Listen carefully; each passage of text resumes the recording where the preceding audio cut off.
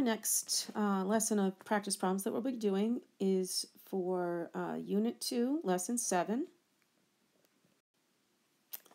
So the first thing that we need to do is to decide whether each table could represent a proportional relationship or not.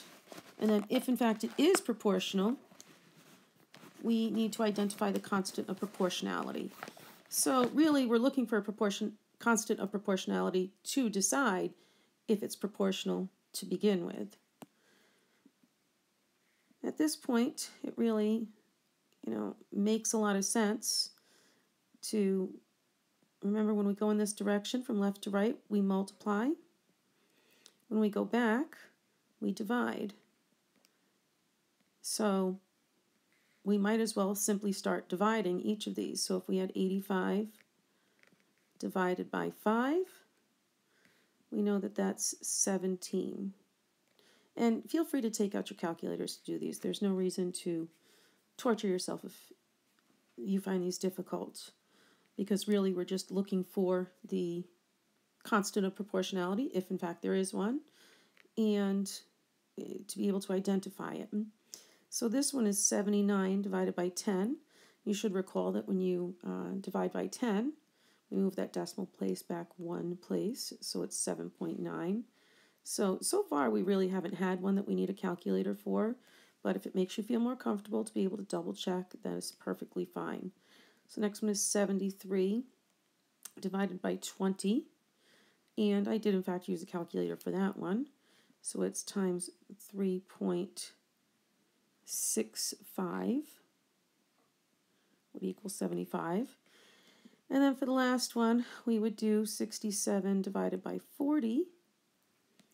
And let me put this over here before I forget. And uh, 67 divided by 40 would be 1.675. So you can see that each one of these is um, each one of these has a different um, number, scale factor, constant, but it's not constant, so a different number that each one is multiplied by to go from left to right. So we can safely say that this one is not proportional.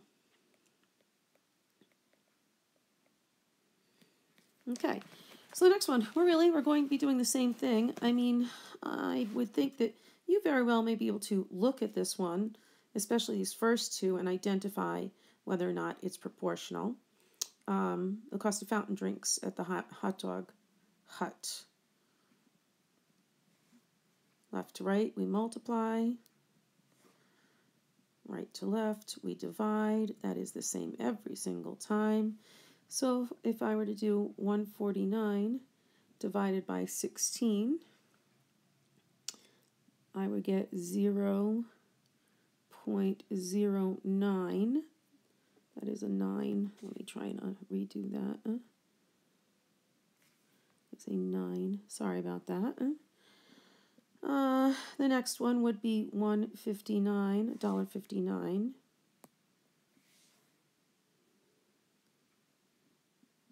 Divided by 20. Again, I can use my calculator. And that's going to be 0 0.0. It's 795. You don't even need all those. We can already see that they aren't the same. But just to double check, we should always, you know, keep going right through. 1.89 divided by 30 is 0 0.063. So again, this one is also not proportional.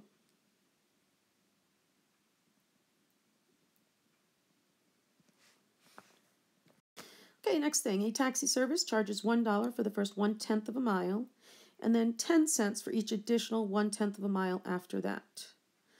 So the first thing we need to do is to fill in the rest of the table and then decide if, in fact, it's proportional. So, $1 for the first one tenth of a mile and then 10 cents for each additional half mile, one tenth of a mile after that.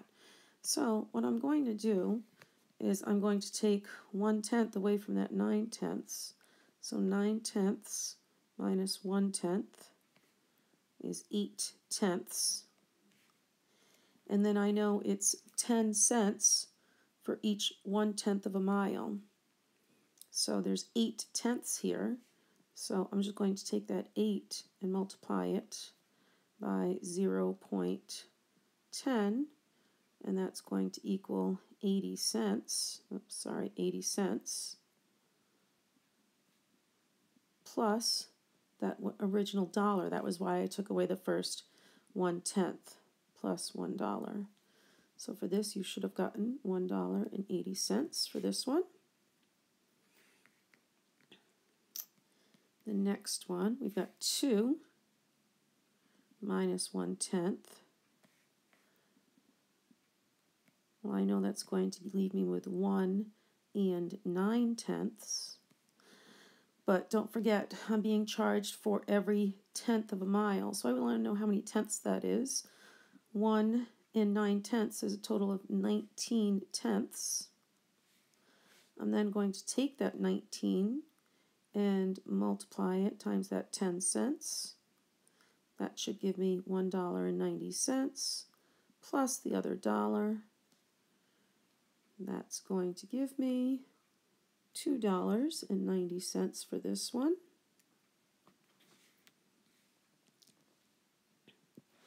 Imagine you should see where this is going for the next one, but let's go ahead. We've got 3 and 1 tenth minus 1 tenth.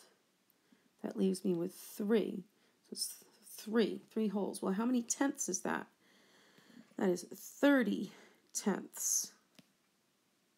I'm going to take that 30 and multiply it times the 10 cents.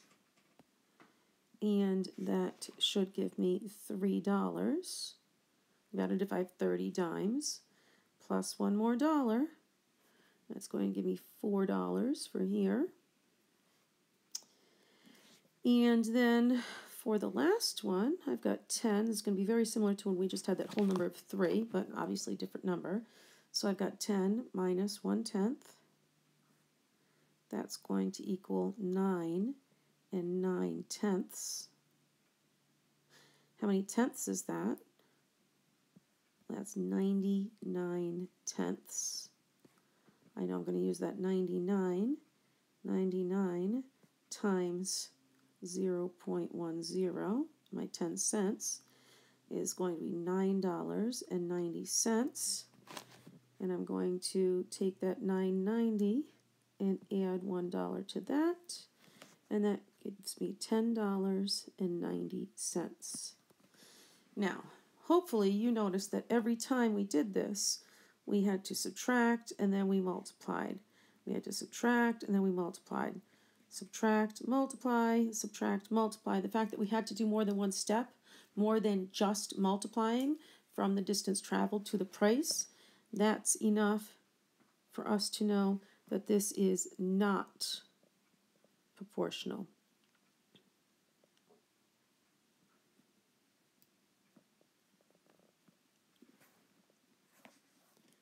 Okay, so the next thing, we've got a rabbit and a turtle in a race. And we want to know is the relationship between the distance traveled and the time proportional for either of them? If so, write an equation to represent that relationship.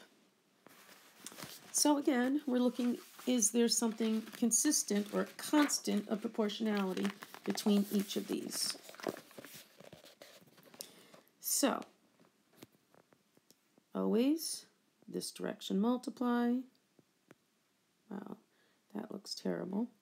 Redo that for you. From left to right we multiply. From right to left we divide. So remember, we ask ourselves, how do we get from 108 to 2? Well, probably you don't know that off the top of your head, so of course you want to divide. 2 divided by 108. Fraction, I can leave it like that and simply reduce it to 1 over 54. Next one, 7 point 5 divided by 405. Now, obviously, this is going to be a little bit strange looking. If I were to put that in my calculator, I would come up with a number that's really kind of funny looking.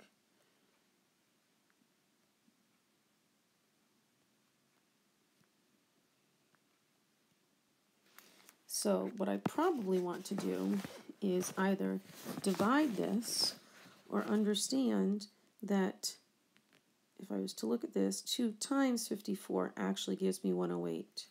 So what I'm curious about is 7.5. If I multiply that times 54, does it give me 405? It sure does. Now, this is not our normal direction. This table, to be honest, is set up a little bit strangely, the way that we would normally set it up.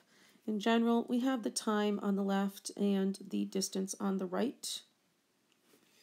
But this chart, for whatever reason, does not have it like that. It's not how Mrs. DaSilva would have it if Mrs. DaSilva was in charge of the world, but we've all discussed that. So, unfortunately, it is set up this way, but the reality is that we need to understand the chart regardless of which way it's set up. So since the same thing happens every single time, we can go ahead and say that this is is proportional.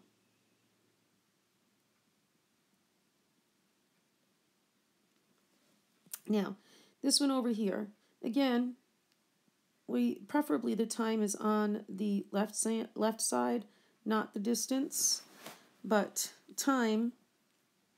So if we look at it the same way, in one minute we can run 800 meters. That would mean every time, let me put that in a better color so you can see it. That would mean that every time we could multiply times 800. Now, 5 times 800, I'm sure you can already see where this is going. This is not going to work out. Hmm? because um, 900 divided by 5 is 180, so I would be multiplying by 180. Already we can tell this is not a proportional relationship. So this one is not proportional.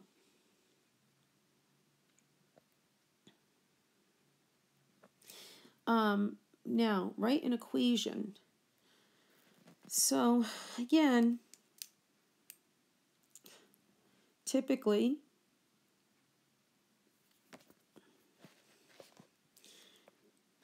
even the equation that we should set up here is is a little bit different. So if we say that, I'm going to actually go ahead and write this out the way that it should look. If I say let d equal the distance, and you already know that this is the case here because we've seen this a few times before now, and let t equal the time, we know that the d distance is going to be the constant of proportionality, which we figured out to be 54, multiplied by the time. So there is your equation. Okay, each table, what is the constant of proportionality? So they're telling us outright that there is, in fact, a constant of proportionality for each of these. In other words, they're telling us that they are all pro proportional relationships. So, as always, we know the constant of proportionality tells us what to multiply by. So 2 times what equals 14? Well, 7. 5 times 7 equals 35. 9 times 7 is 63 and one third times that 7 is 7 thirds. So the constant of proportionality for this one is 7. Again, from left to right, 3 times what is 360? If you don't know that, you can, of course, grab a calculator if you need to, but hopefully you recognize that that 36 is there and know that 3 times 12 is 36, and therefore it would be 120. Again, let's see this 5 times 120. Does it work? Well, 5 times 12 we know is 60. Throw that other 0 at the end there. Again, it's 120. 8 times 12 is 96, so 8 times 120, again, is going to give us that 960. 12 times 12 is in fact 144, so therefore another 120. So our constant of proportionality in this one is 120. Now, this next one, we should notice that when we go from left to right, that it gets smaller. So if it gets smaller, that means we're multiplying by a fraction. And if we're not sure what that fraction is, we go in the opposite direction to divide. So 75 times what gives me 3? I'm not really sure, so I would do 3 divided by 75. I reduce that by finding the shared gazenta.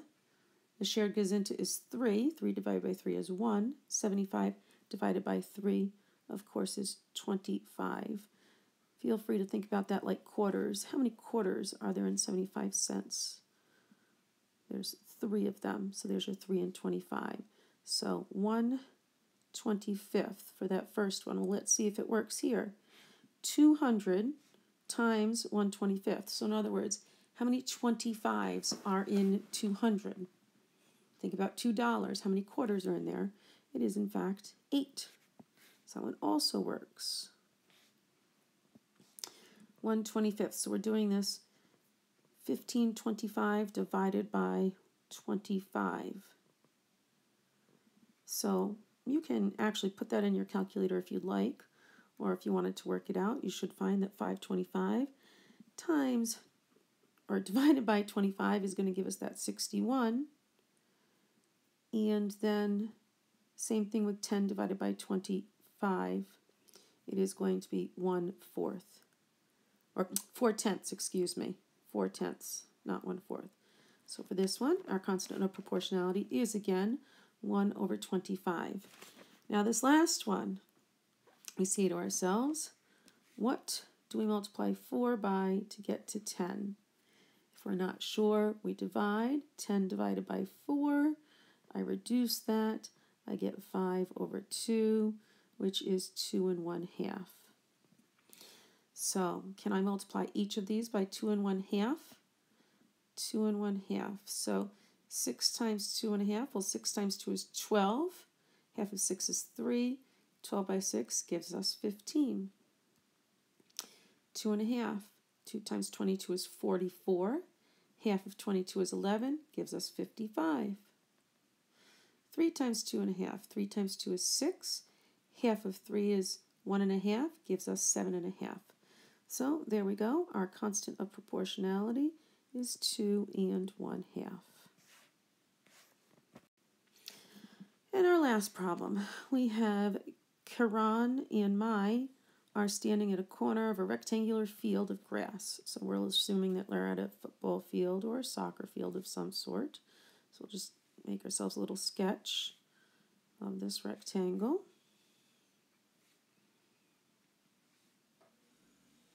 Okay, and they're looking at the diagonal from one corner to the opposite corner. Karan says if the field were twice as long and twice as wide, so that means this is being multiplied by 2, and this is being multiplied by 2. Then it, the distance would also be times 2. That's what Quran is saying. Mai is saying that it would be more than twice as far, since the diagonal is longer than the side lengths. Do you agree with either of them? Well, hopefully, especially since due to the way that I just drew this out, we can see that if we multiply both the length and the width by 2, that would mean that the scale factor is 2. And if the scale factor is equal to 2, then this diagonal would also be multiplied by 2, just like we showed here. So that would mean that it's proportional and that Kiran, I think I've said that different every single time. If this is actually somebody's name, I apologize, but that means that Kiran is correct. And that's because there's a scale factor of 2.